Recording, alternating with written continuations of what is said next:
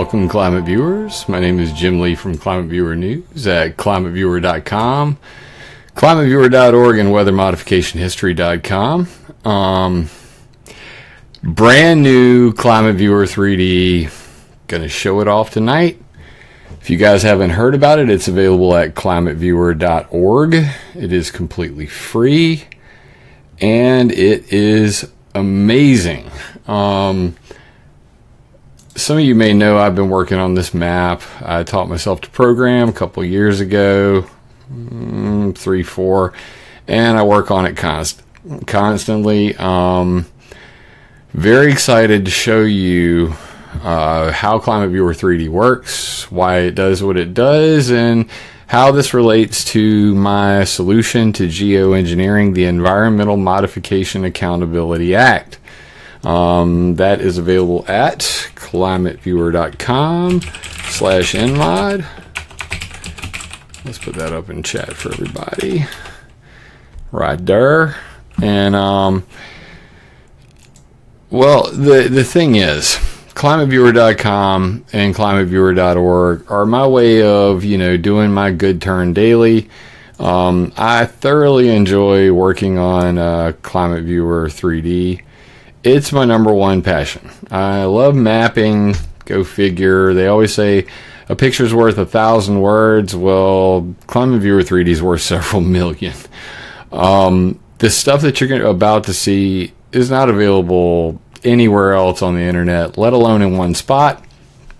Um, and I hope you guys will dive into that. So let's let's go over here, and I'm going to bring it up on the screen. And as you can see, when you come to climateviewer.org, you're going to see an open source globe. Now, this is based on something called Cesium. Little link to it right here. Um, let's see if we can make this a little bigger for you guys so you guys can see this. Ooh, that actually worked just fine. I hope it doesn't ruin anything later. All right, so I'm just going to, you know, zoom in a little bit on this and make it bigger.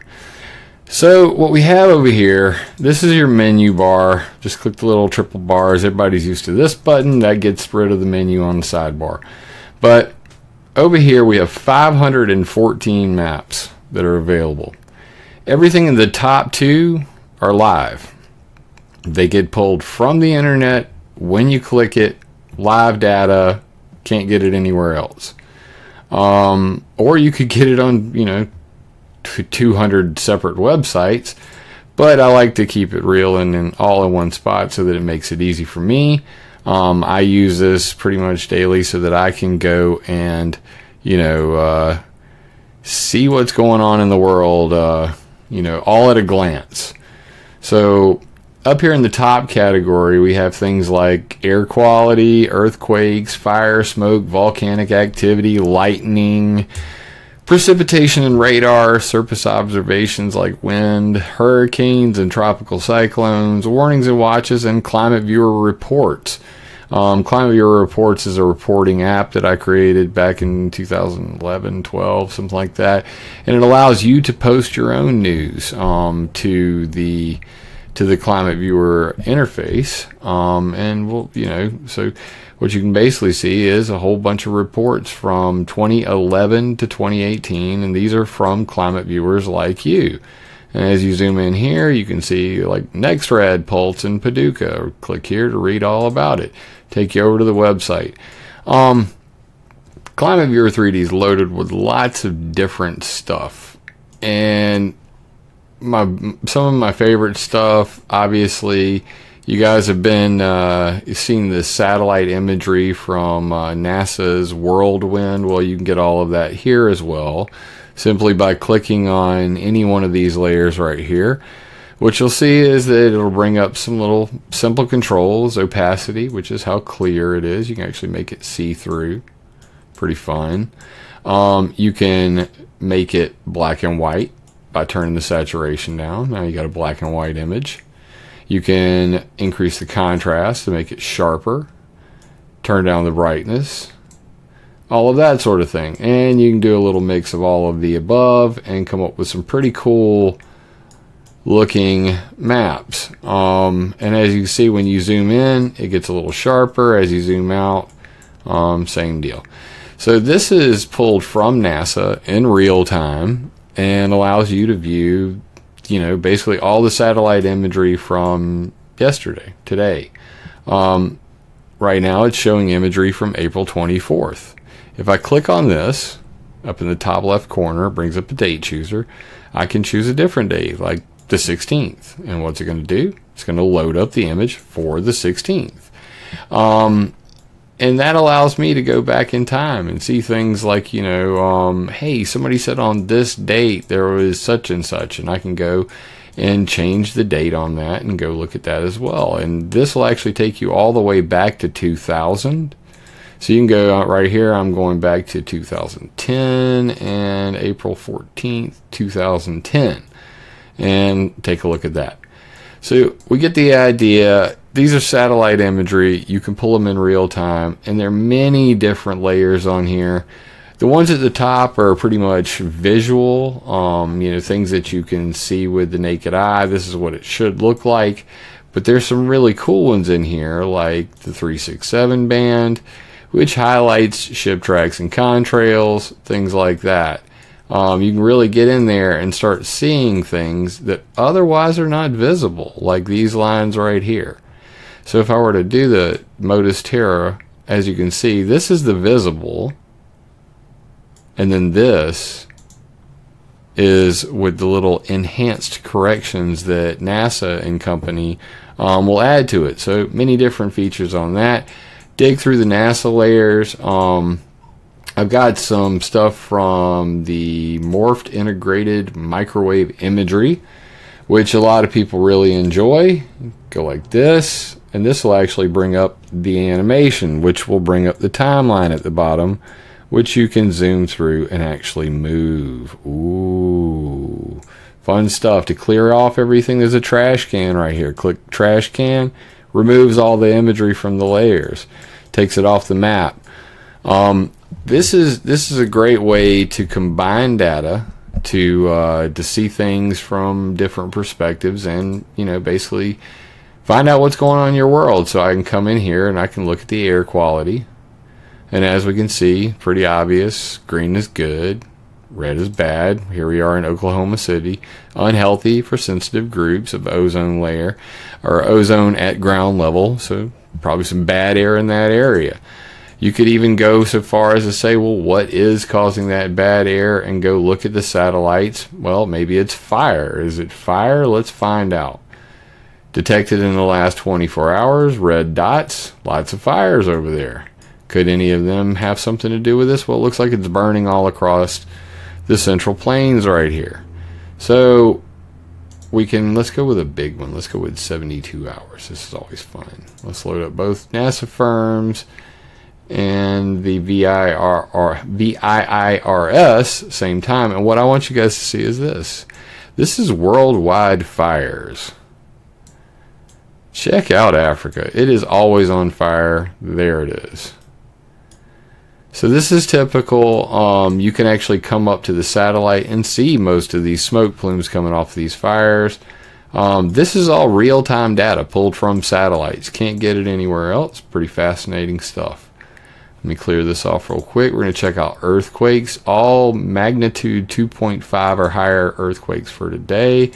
Oh, don't you fail me wouldn't you know, the freaking USGS feed is down right now. So let's pick a different one. We're going to go with the European Med earthquakes. And as you can see, they are right here. And they're color coded by how soon they happen. So green is most recent, red being later. Um, and you can see there's some fracking earthquakes in Oklahoma, all along the coast over here, and in the usual spots. Lots of things to look at here. If you scroll down to the bottom, there are the NOAA buoys. If I click on NOAA buoys, this is a very large file. Anything with a red eyeball is a very large file. Um, they tend to be bigger files. Just give people a warning. I don't want any surprises uh, when you try to load all that up. Oh my god, I think I left the, the menu um, to build a list, so this is going to take longer than I expected. i have to fix that afterwards. Um, and here they go. So this is also active volcanoes. Let me go back out here real quick. So now we can see all of the buoys out in the ocean. And why would I need to know about buoys and what do they have anything to do with earthquakes? Well, people know that earthquakes can cause tsunamis. So if you have a very large earthquake, you can come down here to the buoy tracker. You can scroll through the list. I'm going to close that by clicking on this little tree icon. Get that to close back up. But you can click on the buoys and then say see more observational data from there and go over to a website and actually see what the current, you know, like says right here, air temperature, winds, water temperature, yada yada. Um, we're more concerned about surface wave height, um, so we tend to look for things like that. And if the waves are coming up really high, you see 15 foot waves on a buoy, obviously, you know, you might have a tsunami on the way. So that's why I included it in the earthquake section.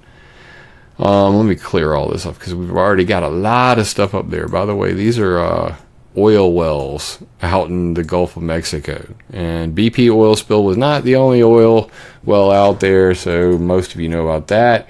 Um, and as you can see, I've got all those tracked as well. Let me clear this off. And uh, note to self fix USGS stupid earthquake feed. Um, precipitation radar. We want to see the NEXRAD based radar. This is what it looks like. Again, we have sliders. We can make it opaque. We can make it really sharp. Give it some contrast, brightness, whatever. Lots of fun toys to play with on that. Scroll down. It will redraw itself and get sharper. Um, purpose for this, you know, I want to be able to see, you know, what's going on here. Uh, what's what's the dealio with uh, the weather, yo? And I typically see some weird stuff like this. So, right here we see some laser beams. They're coming out at a NEXRAD station. Maybe I want to know which NEXRAD station that is. Well, guess what? You can do that too. If you come down to the section, I'm going to hit collapse, which will close everything back up, and you'll see climate viewer maps and a picture of me sitting in front of a tree. And if you scroll down right here to atmospheric sensors and EMF sites, you can scroll down right here and you can actually see all of the NEXRAD Doppler stations. As you can see, I mapped them out. Ooh. So now we can actually see which NEXRAD station is actually doing that. And it's right here in Cheyenne, Wyoming. Its uh, call sign is CYS, and currently that NEXRAD station has a beam that's fixed this way. Well, that's pretty interesting. Maybe it's uh, just a graphical glitch. Well, guess what? I have a second feed for the NEXRADs as well. So I'm going to come back up here, and we're going to try that one out as well. So now let's compare the two. What I'm going to do is this. Let's go ahead and I'll, I'll close the NEXRADs back off right now because they're kind of getting in my way, making it hard to see all the Beautiful red odd data. So what you do is you got one of these is what the public sees uh, when you're looking at your local TV station. The other is the full unadulterated straight raw feed. So as you can see, here's the before, here's the after, before. This is what they show you on the news. And let's turn that up and turn this down. That's the the more unadulterated, unfiltered uh, version. So let's see. Let's come over here and look at this and see what happens. Is that on there? Nope. Surprise, surprise. So that's why I try to pull as many different data sources as possible when using Climate Viewer 3D, because as you can see, they're not always the same. So this one's base reflectivity. This is the Ridge 2 feed. Ridge 2 feed's typically used by your National Weather Service guys. That's what they show you on TV. Turn this sucker up, and all of a sudden you get all the other little glitches and interesting things that they really don't want you to see, filter out, or whatever. Things like that. Oh, that could be a very large chemtrail or a flock of birds. Regardless, they will remove that from the other feed and it will not be visible. So, just a good idea of how that works. I, also, for all you guys um, across the pond, I did include rainfall for the Atlantic Ocean. This is based out of the EUMETSAT. Um, this is called METOD. And you can see that this one actually is rainfall totals for all of that. And you can see right there EUMETSAT, and it has a date 425, right? Sure. So that's uh, already tomorrow because they're on the other side of that UTC line. But regardless, um, click on that one and then click on Indian Ocean IODC underneath it, and you'll get a big error. Apparently, I had a major fail. Boo boo. WebGL hit a snag. Let's reload it. So just so you know, guys know, I just updated to to cesium 1.44, and apparently they've had some WebGL issues. I'm going to go complain on their full RAM about that. But if you ever have any kind of errors like that, just hit the F5 button, reload it, and start over. And understand that, you know, hey, I'm teaching myself this stuff. I've, I've made built all this for you and I hope you guys will use it. Warnings and watches down here. Um, you can see things like gale warnings off the coast. Um, you know where they're. What we got here? What's going on around the Great Lakes? Small craft advisory. What's down here? Flood warnings for this area. What's over here in Texas? We got a lot of wind, wind advisory up here in Wyoming. We got wildfires. Ooh, Bet you we can get an image of that. Let's see if there is any wildfires up there now. We come down here to NASA, turn that joker on, and look. Oh, of course, it's covered in clouds. Of course, we wouldn't be able to see that today anyway. But we can see these chemtrails right here. Fascinating stuff. Wonder if that get highlight gets a highlight on here. Not, not much different, but regardless, there's your chemtrails. So, a lot of people ask me, they say, "Hey Jim, what about all those uh, those crosses in the sky?" I keep saying, and I said, "You know, man, if I could just get a flight route thing, that'd be really cool." Well, guess what? I just found one. So down here in my section, Climate Viewer Maps, at the bottom under Other Interesting Maps, you can see flight routes in the USA. Take a go gander at this. So these are your grids in the sky. Um, there are highways in the sky. Most people don't know about these things, but this is kind of what it looks like. This isn't even all of them. I'm still working on getting them all together. Um, but I see a lot of crosses. I don't know about you. I see a lot of crosses. And that's why we basically have planes dumping metal all across the United States on a daily basis. Um, and they tend to form up grid patterns because these are controlled by computer. The computer system is called NextGen and it runs out of the FAA. Fascinating stuff for me. I hope that you enjoy uh, looking at things like this. Um, for those who love pyramids, pyramids of the world. Oh, yeah. Did you know that all the pyramids of the world tend to line up around certain locations? Very fascinating, especially along this red line right here. There are a lot of pyramids. Is that a coincidence? I have no clue, but it looks like it to me. So take a look at that. This is called Pyramids of the World. Um, Terry, uh, do flight routes include flights specifically for SRM?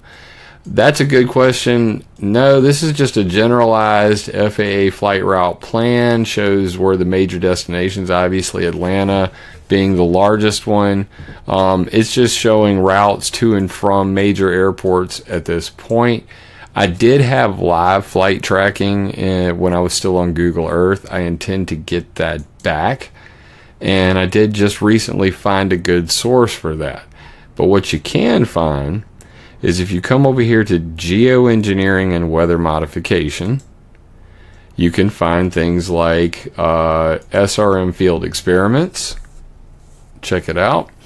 Things like EPEACE, the Eastern Pacific Emitted Aerosol Cloud Experiment. And what they basically did was they created ship tracks out in the Pacific Ocean to make clouds to find out if it's cooling the planet. And you can see here's where they they did it. It's off the coast of Marina, California. And they basically had a boat that was burning an oil mixture and it created clouds. Um, over here we have the access flights, sulfur dope fuel, um, jet fuel. Uh, sulfur doping is a thing. Um, basically, they want to add a lot of sulfur at high altitude. The, the quote goes like this Applying high fuel sulfur content at aviation cruise altitude combined with ultra low sulfur jet fuel at takeoff will kill less people around airports and cool the planet. So, biofuels are all the rave. They're talking about using biofuels for contrail control. As you can see here, stratospheric sulfur, sulfate injections with commercial aircraft and a chart at the bottom here. Ooh, looks like I'm in the way. Let me move me out of the way for a second. And uh, it's going to be still hard to see. Come over here to Geoengineering SRM Field Experiments. You'll see it on the sidebar. It's in in the Climate Viewer Maps Geoengineering section. So um, and information on that here. And this is the cloud making rocket at uh, Stennis Air Force Base. I don't know if you guys ever heard about that thing. Um, of course, over here in the UK, we had the SPICE project, stratospheric particle injection for climate engineering. And they basically wanted to use a balloon to spray some water to do some testing of geoengineering. This is exactly what David Keith will be doing um, in uh, Arizona come this fall.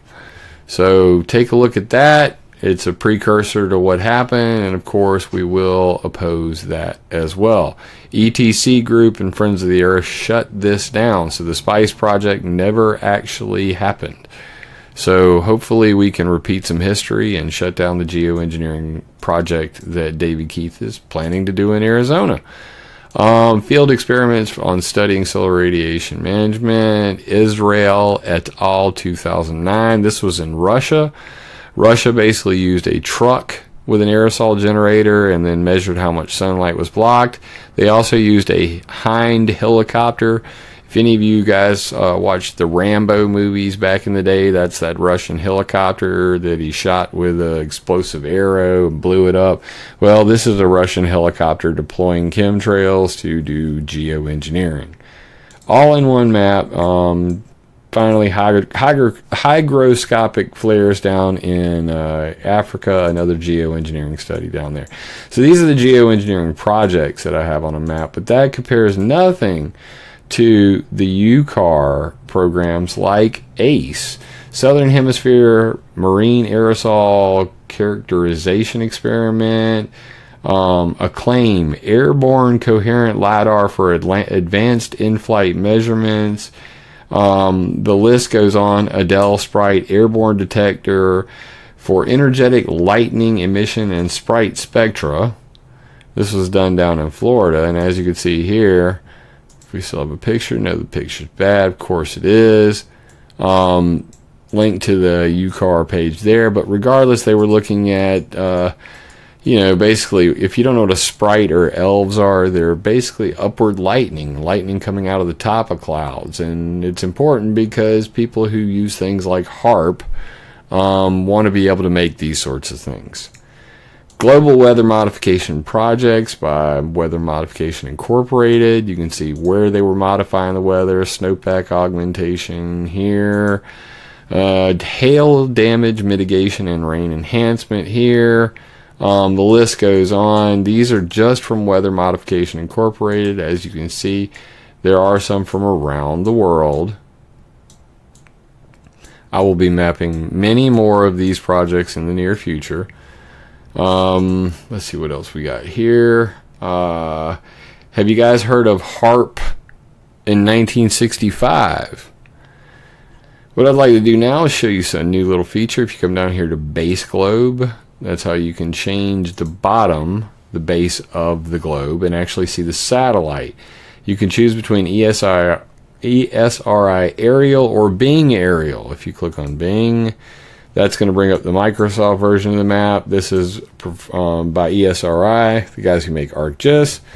Um, but regardless, it'll allow you to fly down and actually see um, things that, you know, from satellite view. I'm going to come down here, and apparently, this cannon was used to do uh, the HARP project. And you can see that over on weathermodificationhistory.org. Or, uh, did I really do that? Yeah, there we go. It worked. Project High Altitude Research Program HARP cannons launch chemical payloads into sky. Um, and you can see the photos on that. Why are they not loading? My internets are not behaving today. Of course, it's a live show. What you expect? So lots of uh, interesting stuff there. So this cannon, 1965, was called HARP, the High Altitude Research Program. They were firing aluminum and barium into space with shells. You cannot make this stuff up. Why are my pictures not loading? My God. Moving along, here are cloud seeding generators from across America. Let's go down here to this one. And of course, see, this is what happens when you load a new map and you don't test it before you go live.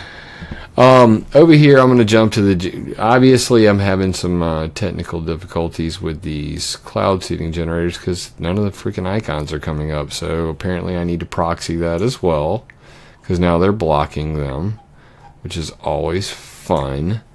I will fix that and we will do this again regardless, um, come down here to the government uh, surveillance um, section, and you can see things like Five Eyes, the Stone Ghost Surveillance Network.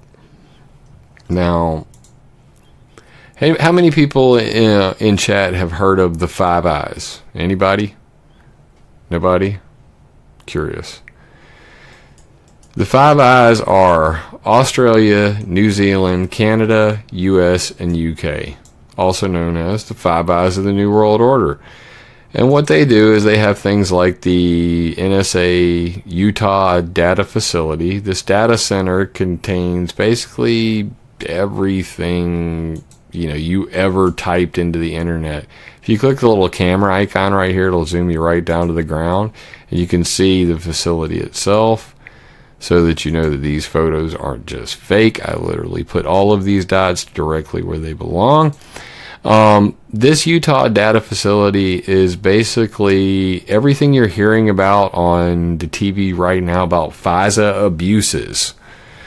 FISA abuses. What's up, Max Mogrum, my dog? We got to do a show, brother man, soon. I got my webcam working, as you can see. I got new internets. Um, so the, the basically, what I want you guys to take away from this Five Eyes thing, while they're talking about FISA abuses and how Obama and company um, abused the FISA courts, what they're really saying is that they got permission from a FISA court judge to use the NSA Stone Ghost Network, which consists of all of these spy facilities from around the world, which are Five Eyes members oh wait, there's 13 eyes, but I only mapped out the five. What does that mean? You can fly over here and see things like the Joint Defense Facility at Pine Gap. Now, this is in Australia. These uh, white domes are basically listening in, um, you know, to, to, to find out basically everything going on. You know, most of this stuff is satellite based now. So what do you expect? You're going to get, uh, you know, you're going to get uh, these satellites listening in on your cell phone conversations, these little radar dishes, and they're going to route that through their network um, back home to America, over here to the DC Triangle where all of the guys hang out at the National Maritime Intelligence Center or the Beltsville Information Management Center or NSA headquarters at Fort Meade, Dorsey Road Warehouse, Friendship Annex, George Bush Center for Intelligence or CIA HQ. Um, guys, I just uploaded this uh, new version of the map today, so apparently I'm going to have to go through and find out why a lot of these images are not working. And really, it, it makes very little sense to me. Because they're not there, man. Why are they not there? I just don't get it. I mean, has anybody seen my images? Because, bro, I'm really. No? Jerry? No? Nothing? Anybody? It's just not there today. anyway, that's my fun uh, 404. So let me let me figure out what's going on with that real quick. We're live. Why not? I'll just go look. Climateviewer.org slash image slash gallery slash that picture is freaking there. Why is it not there? We will fix that. Apparently, I have some images missing um, during my upload. But this image is there. The Aerospace Data Facility East. Um, any again, you can come right down here, and every one of these you go to, you're going to see one of these big white balls, and these big white balls are basically listening into everything. So that's what's that's what FISA abuse is about. That's what the Democrat Party made up a lie to get access to. By the way, they're not the only ones. Uh, Monsanto does the same thing. Um, in the original WikiLeaks, you can read this on the privacy page come over here to climateviewer.com slash privacy and you'll see New World Order technocrats and the surveillance state. Just scroll on down through here. Here are the 14 eyes. Five eyes, Australia, Canada, New Zealand, US, UK. Nine eyes include Denmark, France, Netherlands, and Norway. 14 eyes, Germany, Belgium, Italy, Spain, Sweden. All of these together form the New World Order and this new world order shares signals intelligence. So this is what they're that's what they're talking about when they say FISA abuse. They're talking about what Snowden was talking about.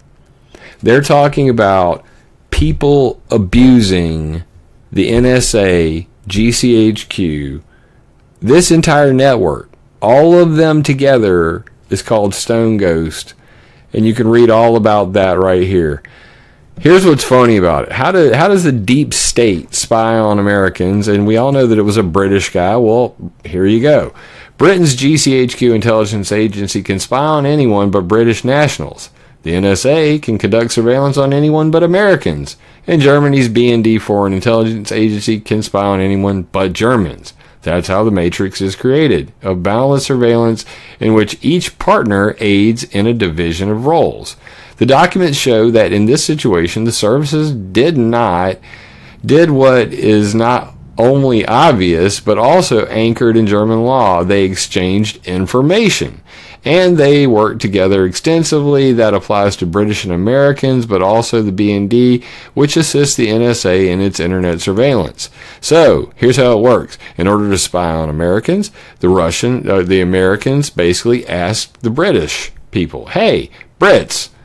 Could you uh could you use some of your surveillance facilities to spy on Americans? Because that'd be real nice. And as you can see here are the different locations. You can actually fly around to these simply by clicking on the list over here. So let's go to, since my photos aren't working, let's just go actually look at it. And I'll fix my photos later. So this is GCHQ. Ain't that a spaceship looking? A lot of money spent on a building looking cool. Um, GCHQ basically spies on Americans for the NSA, and vice versa. The NSA spies on Brits for GCHQ. This is a revolving door. Um, and they have many different facilities. This is at Scarborough. You can see here, that's one of their buildings. You can go to Ascension Island all the way down here. If you guys have never been here, this is a very interesting island to say the least. Lots of uh, facilities there. And GCHQ Bude, um, I think that's how it's pronounced. And you can see all of the satellite stations there. Um, if you don't like how the satellite imagery looks on one, on the ESRI, click over here to Bing Aerial and see if it's any better. Um, we got a couple different versions of that. It's under Base Globe. You can also make the world 3D if you want to see mountains and stuff. Just click right here. So that's my story. When it comes to you know stealing your information, tracking everything you do, they basically go and connect up to these underwater cables as well.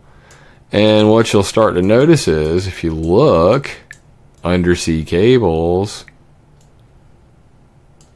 everything that crosses the um, Pacific ends up at an NSA facility. Then there's one in Guam. Here's up in Japan. And these are all connected together for a reason. This is down in New Zealand. And these these all together, this is just the five eyes. This is not the nine and the thirteen included, which Germany is in the thirteen, right? Ooh, they didn't like that. Germany, Belgium are in the 14 eyes, excuse me. So, um, I actually heard Angela Merkel on NPR going, hey, wait a minute. Why are we not a member of the Five Eyes? Why are, you know, what's up with this Ozcan Zuckus thing? Ozcan Zuckus is the naval term for how this all started. Story goes like this We were in World War II. Um, Britain's getting his ass handed to it, and we said, well, you know, America, we'll come save your ass like we did in World War One. But in order for that to happen, you have to give us all of your intelligence and that was called the British UK Agreement. You can read about that in here. Um, and that's how this whole spy versus spy revolving door thing happened. Well, here's the problem. Here's the thing nobody wants to admit. Canadian Navy spy sold NSA secrets to Russia for 3K a month. Everything that's going on with Hillary Clinton, Barack Obama, and the abuse of the NSA network I'm not going to call it FISA abuse because that's just skirting the issue. Um, it, you know, it all happened before. There was a guy up in Canada. Um, I could probably show you the facility even. So go up to Canada. Here's a Canadian facility. Um, wait, that's I just clicked on a wire. I think. Here's a Masset, and that's an older one. So let's go over here. This is the NSA. CFS Leitrim um, is probably, and there's also CFS Alert, Gander, and Masset. You can see all the locations they have up in Canada. But basically, some dirtbag who worked at this NSA or this um, CFS, I guess it's Canadian Forces Station Leitrim. So the Canadian version of the NSA, they had a mole and the mole was selling all of that information to Russia for only $3,000 a month. That's pretty damn cheap and scary. Quote, it's a computer system that links the Five Eyes. The Five Eyes are United States, Britain, Australia, New Zealand, and Canada. All their information is shared on the Stone Ghost computer. So the Stone Ghost network connects all of them together. Oh, by the way, Israel has full access to Stone Ghost. Um, Glenn Greenwald actually put this out, and it said the National Security Agency routinely shares raw intelligence data with Israel. And here's that memorandum real as rain. And the thing that's interesting about this stuff is you'll usually see top so top secret comment rel to USA F V E Y. F V E Y means five eyes. And this is where basically the raw signals intelligence or unmasked data goes to Israel. It gets worse. U.S. corporations use Stone Ghost. Europe fears U.S. corporations benefit from what was used to called Echelon. Echelon um, then became Prism, became, you know, they have many different names for the same thing, but basically we're all talking about the Stone Ghost Network. And as you can see, McDonnell Douglas, uh, now part of Boeing, won a multi billion dollar contract instead of Airbus because the NSA acted as a whistleblower and because they stole information by hacking. Raytheon won a $1.3 billion contract with the government of Brazil to monitor the Amazon rainforest after the U.S. CIA, acting as a whistleblower, reported Raytheon's French competitor, Thomas Alcatel, had been paying bribes to get the contract. That's the NSA working on behalf of U.S. corporations through their Stone Ghost network. Stone Ghost Network versus WikiLeaks. U.S. defense contractors hired to use cyber warfare and social media sock puppets to sway public opinion against WikiLeaks, discredit journalists, activists. People like myself, people like Max Mogram, we've all had this happen. Um, you know, Max is from Wake Up News. If you're telling the truth and you're out there and you know you're you're really just trying to to hammer this home for people and get people to see the big picture. You know, really, um, what the what the problem is is that they create fake Facebook, Twitter, and YouTube accounts to post online as if they were real ple- people to influence your opinion. These are called sock puppets. More importantly, the proper term that the military uses called persona management software. This is a, from me to you to the anons and the, the tech friendly world people out there. I'm going to use some real technical tar- jargon real quick. But basically, um, you can use something called a virtual machine. It's VMware. And VMware allows you to op- open an operating system inside an operating system. And what it allows people like the NSA, people like Monsanto, any corporation, they all have these now. They can basically load up a Windows 98 machine inside their machine. And then they can load five of them. So what happens is the NSA supplies an operator, usually a defense contractor, with a pre-made, you know, individual, and like say his name is Bob Dorkhead. And literally, they go and they double click on bobdorkhead.iso, which is an ISO, it's an image file. They load it up in a virtual machine. And now, when they log into that Windows, they can go to Facebook. They're already logged in. They're on Twitter. They're already logged in. They're already logged in on YouTube. And all of these have lengthy histories with family photos. They look real. Nobody could tell them from a hole in the wall. This allows them to discredit um, you know, Julian Assange, uh, Glenn Greenwald and company, and uh, those are called sock puppets and uh, persona management software. It gets worse. Stone Ghost and Monsanto versus anti-GMO activists in Paris. Now let me blow this up good, because I want you guys to see this. This was in the original WikiLeaks. And this is why at climateviewer.com I talk about three things pollution, privacy, and propaganda. If you try to fight pollution or geoengineering, if you try to fight GMOs, if you try to fight anything, your privacy will be violated and propaganda will be made about you. Case in point. This is the United States State Department using the NSA Stone Ghost network to work for Monsanto. And I'll prove it right here. Basically, they say that, you know, common interest in France, the authorities' first task is to review Mon 810, which is a Monsanto 810 version of their genetically modified corn. Activists don't want it. The law would make farmers and seed companies legally liable for pollen drift and sets the stage for inordinately large cropping distances. Basically, they were going to make a law that says if Monsanto's, you know, mutant seeds blow into your field, that you could sue them as opposed to being the other way around the way it is currently. Monsanto can basically sue your ass if, you know, anyway, we won't get into that. Um, This is the scariest thing I read in, in, in all of the WikiLeaks. Um, the environmental minister's top aide told us that people have a right not to buy meat raised by on biotech feed, even though she acknowledged there was no possible scientific basis for feed-based distinction. Further, we should not be prepared to seed on cultivation because of our considerable planting seed business in Europe. This is a State Department ca- cable.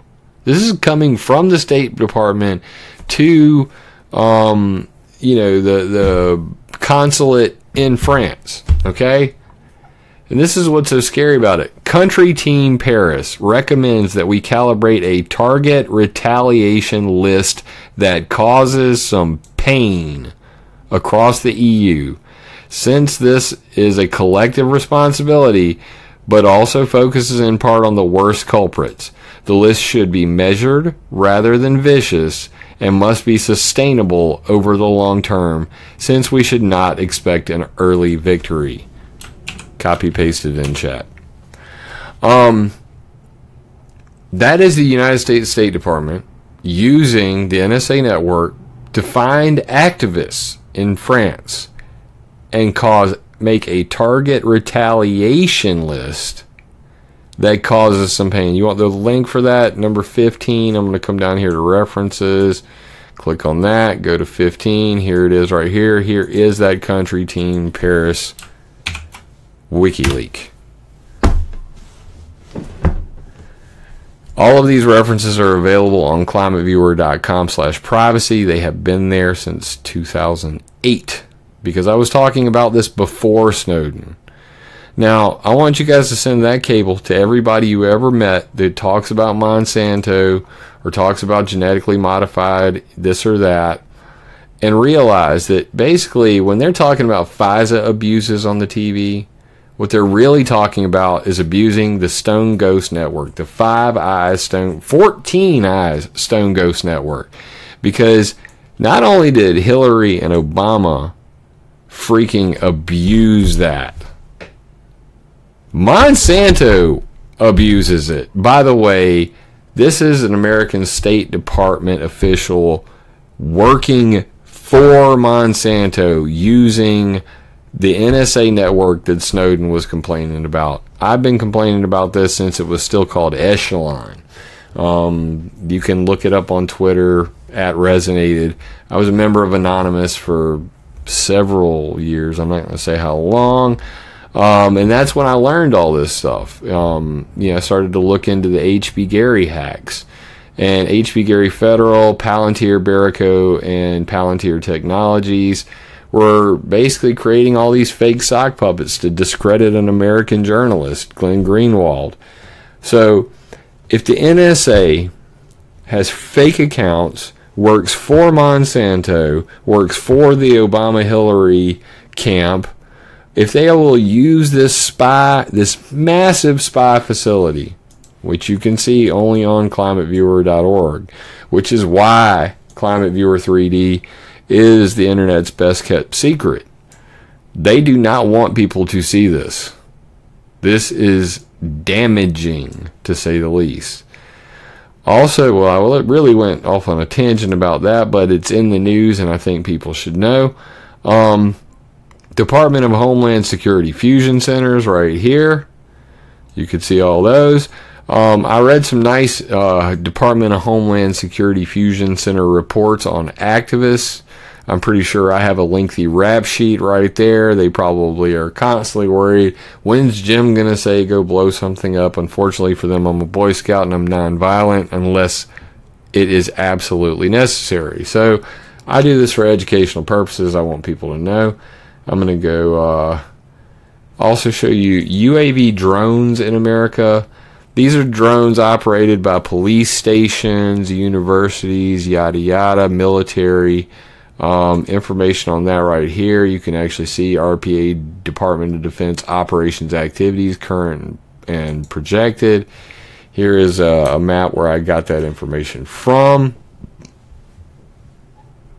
Pretty scary stuff. Global hawks, hunters, predators, and the like. This will only grow over time. So, this is all available in the government and surveillance section stuff I'm showing you right now.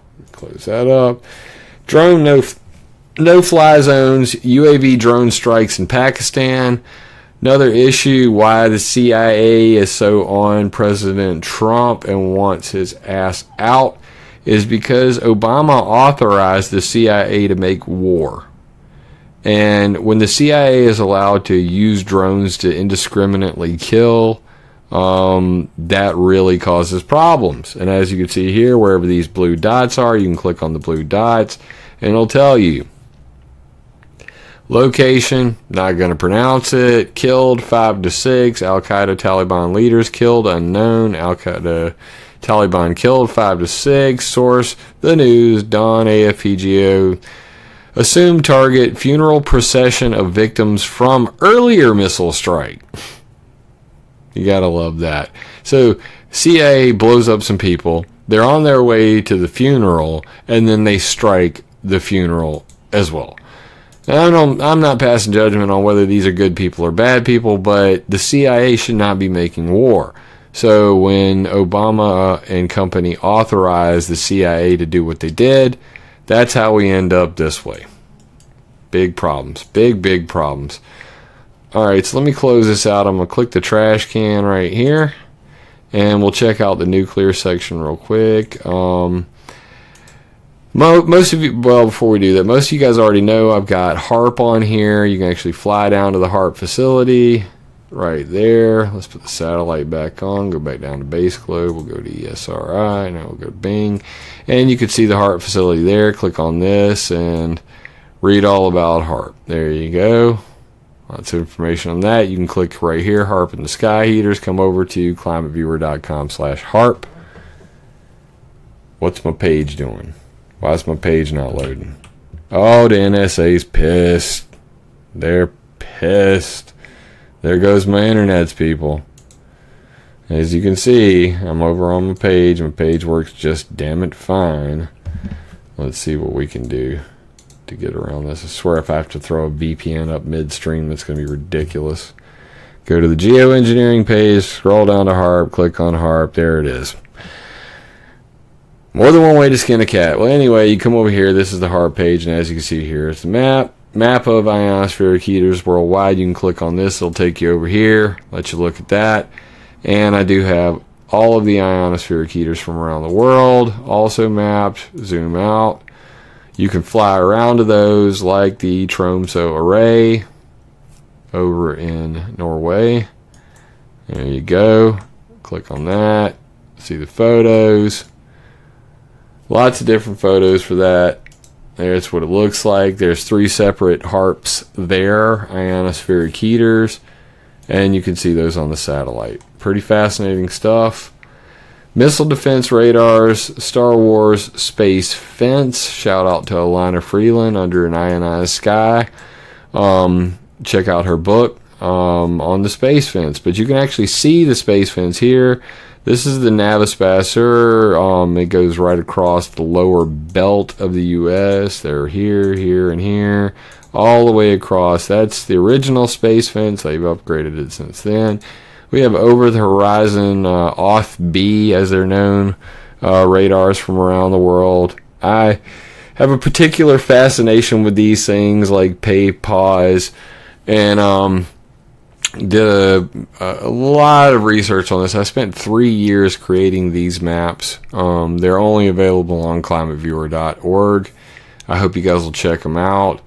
And again, you can fly around and see them just by clicking here go over to Australia and see the Jindalee Operational Radar Network, or what's known as JORN. It's their version of HAARP. Uh, many different ones. There's a transmit site. Here's the next transmit site over here. Look pretty interesting, pretty fascinating stuff.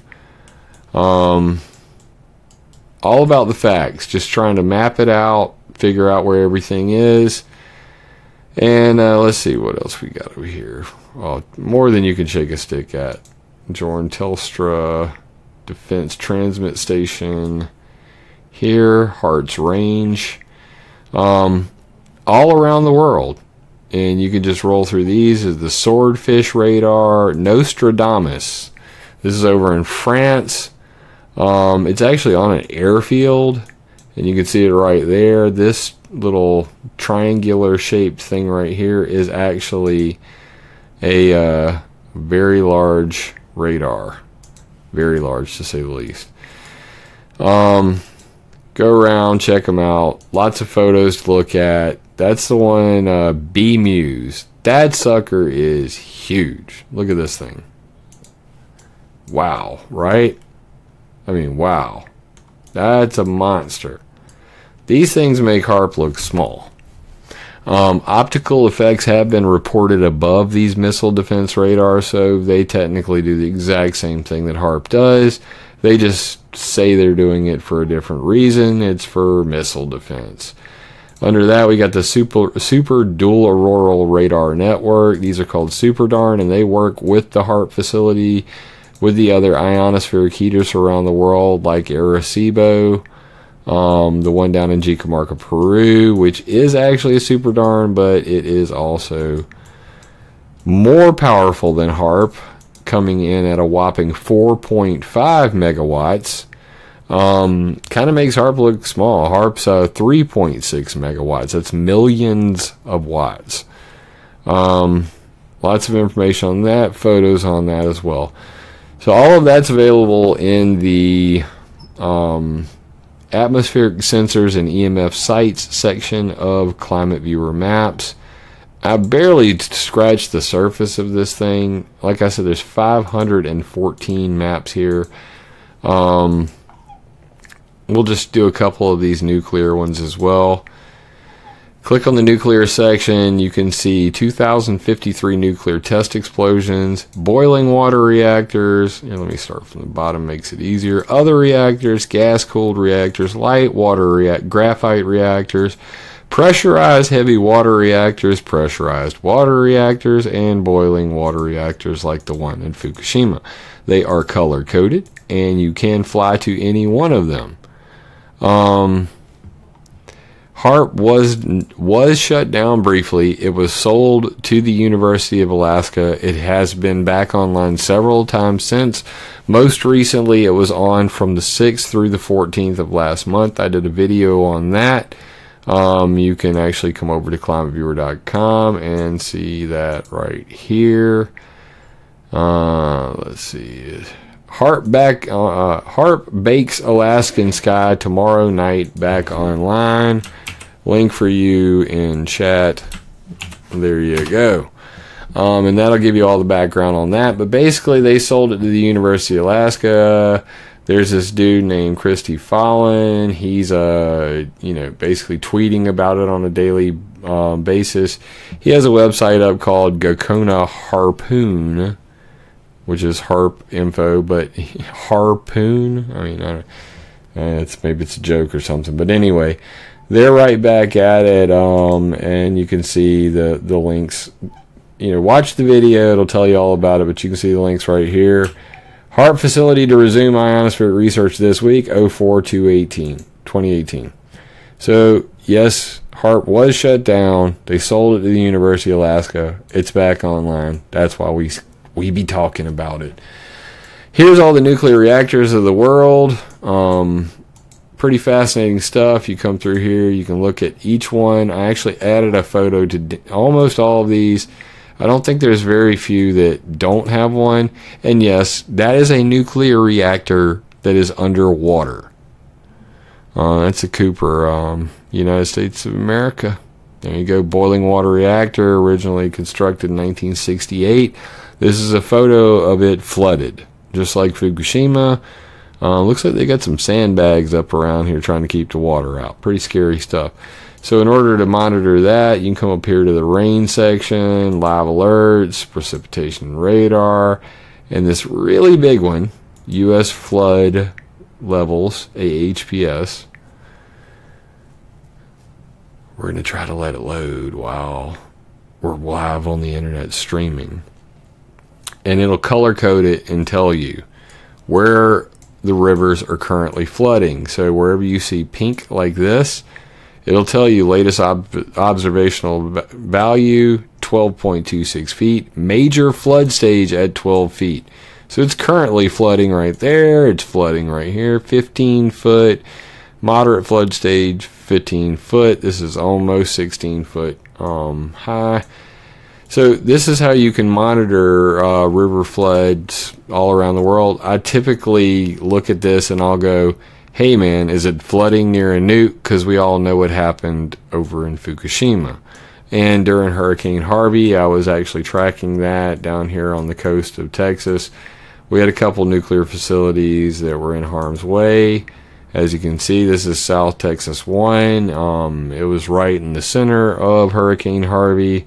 So I was monitoring all of these flood stations around it. It was bad. Luckily, we didn't have any major events. Gonna turn that off now. It's a very big map. Don't try this at home unless you got a lot of RAM and a spare moment for it to load because it's a big file.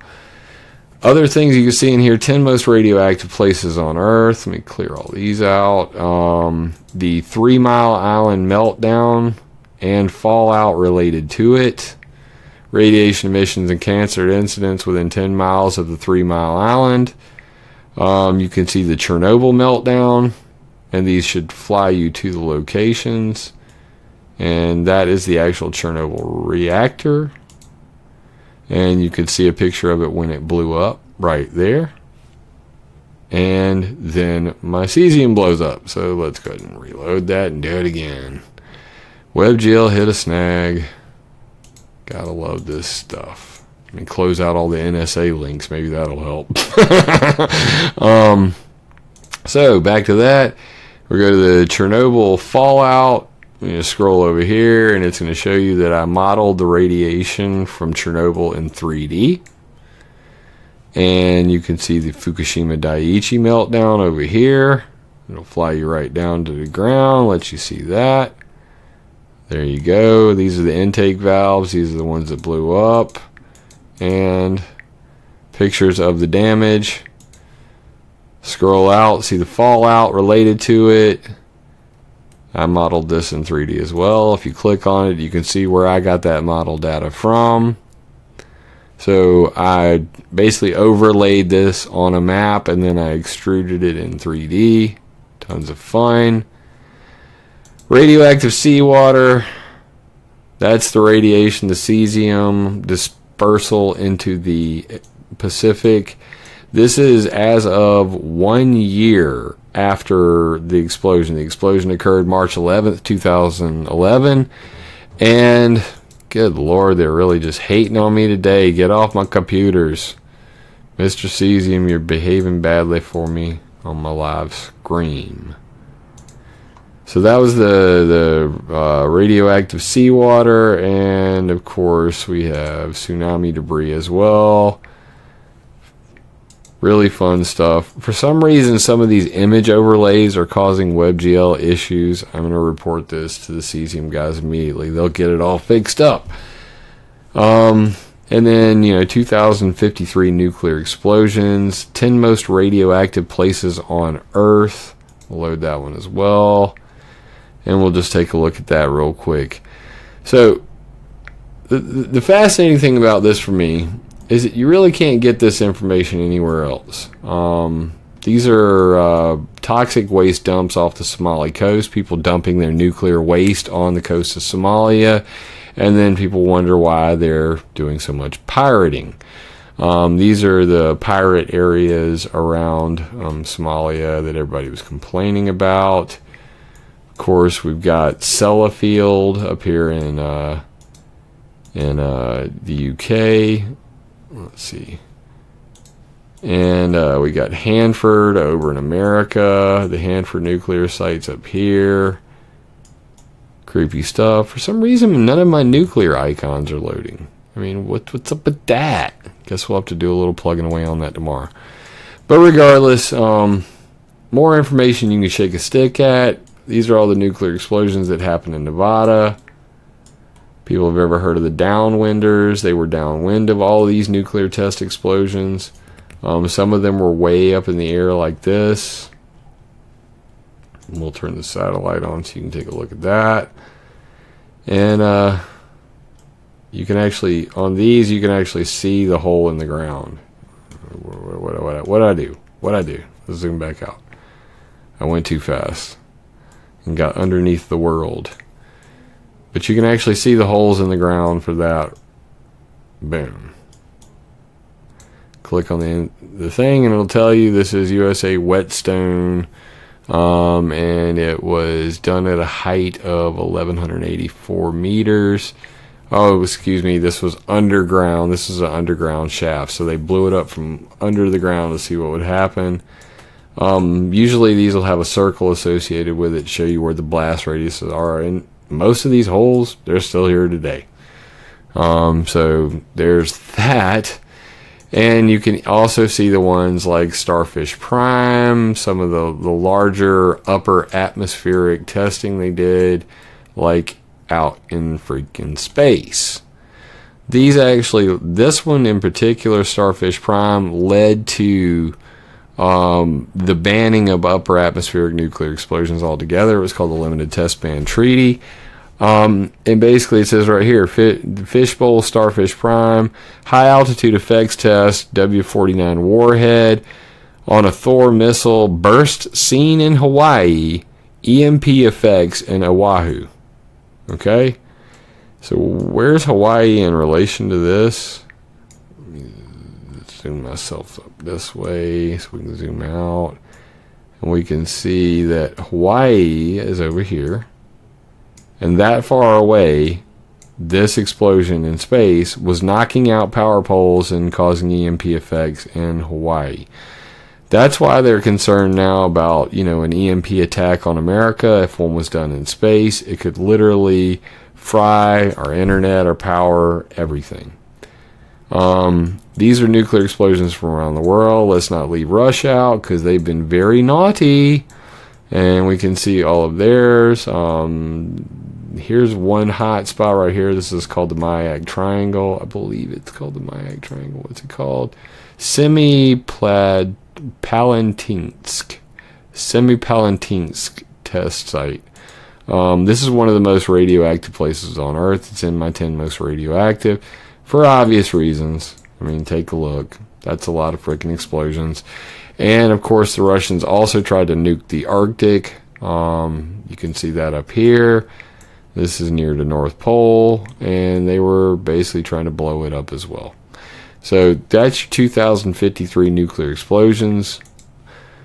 Only available on climateviewer.org. Um, you're not going to find that anywhere else. So, guys, this is climateviewer.org. Um, it's my personal love. I hope you guys will support me. Patreon down here at the bottom, GoFundMe, PayPal, your choice. Um, this is free. There are no ads on it. There never will be. Because this is about the truth and getting it out there. Um, I didn't even mention my reading map right here. It's a good friend of mine. His name is George Stiller. He has 160 maps in his section. Um, and he his website used to be called myreadingmap.com. Google shut him down and deleted all of his maps. I reached out to him. I said, "Man, your maps are valuable. I hope that people will be able to continue to use these."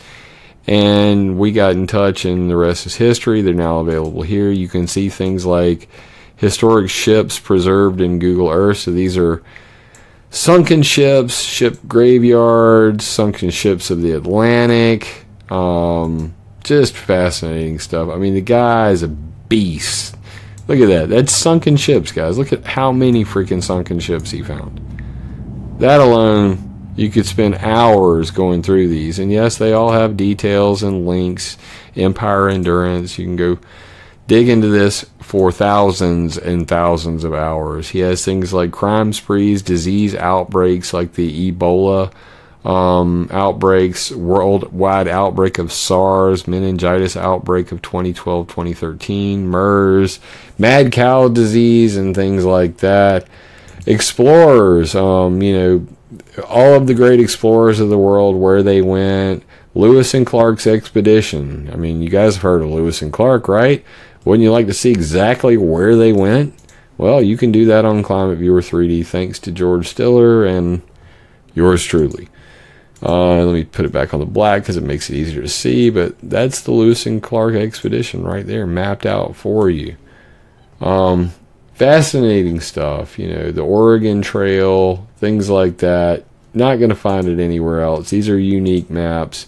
Fossil sites, government, um, places affected by the 2013 shutdown. Fortune 500 companies that received government subsidies while avoiding paying taxes. This is the map that got uh, George Stiller kicked off of Google Maps. As you can imagine, why? Um, pretty sure these companies didn't like admitting that they don't even pay taxes, like DuPont. Three year totals 2008 to 2010 domestic profit two thousand one hundred and twenty-four million. Woo! Profit two billion dollars in profit. Tax subsidies eight hundred and fifteen million. Lobbying expenses thirteen point eight million. Federal taxes minus seventy-two million. Oh my god, it makes me want to throw up So yeah, it's not cool. Um, you know, if I had thirteen point eight million dollars and could head my ass up to um, Congress, you know, maybe I wouldn't have to pay taxes either. But shit, we don't have that kind of money, so we all know how that goes. Migration, uh, I think this is where the Oregon, California, and Mormon trails. Pretty fascinating stuff. Very educational. Read all about it. Um, he, you know, George really, the fact that Google would delete this stuff is insane to me. The fact that it's back and available only on climateviewer.org, priceless. So I hope that you guys will share this because this is one of the internet's best kept secrets for a reason. I think I've clearly demonstrated that to you by showing you the government surveillance section. I was actually interviewed by an NSA guy on my um, beach trip with my family. Um, I had an NSA operative come up and talk to me about my climate viewer map and why I have all um, why why I have all this stuff up on uh, on the internet. And I told him I said, you know, with what you guys are doing, you know, with this Stone Ghost Network and uh, I, and, and letting Monsanto use it, let alone what Hillary and Obama and the Democrat Party did with it it's ripe for abuse and people should know and that's why it's on the map and it's gonna stay and I really don't care what you think about that. Um, but you know, even the NSA guy kind of agreed with me. He says, you know, we've got a lot of people who work for the NSA now who are just shaking their heads, going, "This is not what we came here for. You know, this is not what we signed up for." So, guys, that's just a that's just a, a you know guy from South Carolina taught myself to program, mapped it all out for your pleasure. I hope you guys will really dig into it, not just give it a cursory look. Um, most people don't have the, the, the stomach for this sort of thing. If you want to know how to use it, you can always click right here at the top where it says About, and then there's instructions right here. Um, let me go back to where you guys can actually see what's going on. Um, you go instructions right here. After you click the about button, it's going to pop out, you know, this little thing, and then you hit instructions. It'll pop up a tutorial video. Um, this is the last tutorial video I did before changing it to that older version, the, the, the, last version I had, which I didn't really like. And now I've gone back to the one that I coded myself. Um, and it's got like all the buttons. It tells you how to use it and everything there. Um, updates right here. You can see April 23rd, uh, 2018 complete redesign, 40 plus new layers, and Discord chat. I did include Discord chat in here now. So if you click on that, it's going to say you've been invited to join Climate Viewer chat. I hope that you guys will all do that because I'd love to see you over there. Um, this is where I'm going to be doing my chatting, period. Um, just fire it up like that. And as you can see, we've already got some people in there and we've been chatting it up. Um, link in the details here. Let me go right here to climateviewer.com because I can actually copy the link. It's also available right here at the top of climateviewer.com. There's a chat button right there. Let me drop that over here for you guys. That is your personal invite to my chat. I hope you guys will hope to see you over there. Um, it does have voice. I haven't tried that out yet, but I hope to be doing like a monthly little discussion with you guys, um, so I can get in touch with um, you know you and answer some of your questions. I see a suspicious observer got a little link in my chat there. Earlier, a guy um, dropped me some nice little HAARP ring photos. Check that crap out. What? I said HAARP ring. I meant Nexrad ring. Originally, they were called HAARP rings. Don't get me started on that story. Um, all right, am I going to post this broadcast so I can catch up on parts of Miss Tomorrow? It's being posted right now. This is live. Um, you will be able to hit the rewind button and go back. Also, guys, you know, I'm over on uh, YouTube. Here's the ironic part. I heard Max's show earlier today. Wake Up News. You guys should all go subscribe to Wake Up News. Um, Max Mogram is a longtime friend. Um, we go way, way back. And he made an excellent point, and I just like to point it out for you guys right here you know, I got 10,510 subscribers over on YouTube. And, you know, my last video got 719 views. I went to a weather modification freaking conference, okay? And these videos, they have about a thousand views. I mean, I went to geoengineers' faces. And I, you know, and I asked them the hard questions. I talked to the Naval Research Lab. I talked to Raytheon. I talked to Jim Fleming, world's historian. Um, people just don't get it. I mean, I, either that or YouTube is just really getting good, damn, real damn good at censoring people. That's all I can figure. Um, but you can come over to climateviewer.com slash enmod. This is my solution to geoengineering. Hope you guys will support it. If you go there, you can scroll down right about here underneath this graphic and it'll say videos from the 21st conference. You can see that they're all right here. Interview with Dr. Jim Fleming, the U.S. Naval Research Lab, Raytheon, UCAR, um, Dr. William Cotton. He was part of the Stormfury project, steering hurricanes. Um, Daniel Rosenfeld from the Hebrew University of Jerusalem. Um, Nicoletta Florio from BeHeroic.com. There's me getting interviewed by somebody else. That's me with a Raytheon headset on, hanging out with F 18 pilot, talking about the brand new sensors they're going to put all over America. I hope that people will look into these videos because this this was a uh, an experience to say the least. But it's all in support of something I call the Environmental Modification Accountability Act. Hope you guys will read about that. Right here, download PowerPoint presentation. You can actually go here and uh, there's slides on that. You can flip through them. You know, like why, you know, why is weather warfare illegal? Why is it undetectable? Um, you know, who's involved in it?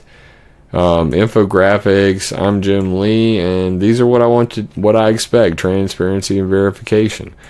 Um, I hope that you guys will look through this uh, Environmental Modification Accountability Act. Um, check out the videos because censorship's a beast, and it and it goes back to what I was talking about with the sock puppets, the NSA guys, the the powers that be do not want us breaking free from the old school media, the the controllers, the the you know the the bullshit artists on TV. So for me to you, please continue to support um, guys like myself, guys like Max. You know, there's so many of you out there that that I look up to. I hope that we can break through, um, you know, this this censorship funk, and uh, the only way we're going to be able to do that is if you guys continue to support us. So I'm going to drop my support links in chat. I hope that you guys could pick one and possibly help out. Everything on all three of my websites is completely free of charge. Oh, I didn't even really mention my third website. I briefly went there. But weathermodificationhistory.com is the junk. So, guys, check it out. Check out Climate Viewer 3D. It is available at climateviewer.org. I hope that you guys will share it around. Give it a try. You'll like it. It's not that hard you just come over here, click on that, click on lightning, and go look, you know, at the stuff going on. It's pretty simple. Active volcano eruptions this week. Oh, there's an explosion. It happened here. Um, you want to see some volcanoes in 3D? Come down here to Base Globe, click on a satellite image, click on 3D terrain, because it makes it much more fun to look at volcanic activity when you can see the actual volcano. Let's fly to a different one. That's not a pretty volcano. I don't even like that one. Bad volcano. How's this one look? What we got? Oh, yeah. That's a volcano. Boom. In 3D. And these come from the Smithsonian. You can click on that and see which volcanoes are blowing up right now live. Live data mixed with maps that you can't find anywhere else, only available on Climate Viewer 3D. I just realized I'm not even sharing the freaking screen, so let's go back and just let you guys see that real quick. This is what I was actually talking about. Um, yeah, 3D mountains, volcanic eruptions. You can see all of that available only on Climate Viewer 3D. Um, God, went into a very long video, but I worked for uh, three to five days trying to put my old map back up. Um, we'll work out the bugs. Um, please report any bugs. Jim at climateviewer.com. Please continue to support my work, and um, I really appreciate you guys uh, staying up late with me and watching this video. So, with that being said, attack ideas, not people. This uh, this internet thing, we will get through the censorship, and we will do it when we're armed with information. So please continue to learn, continue to share, and please continue to support my work. And thank you very much for watching. I hope this resonated with you.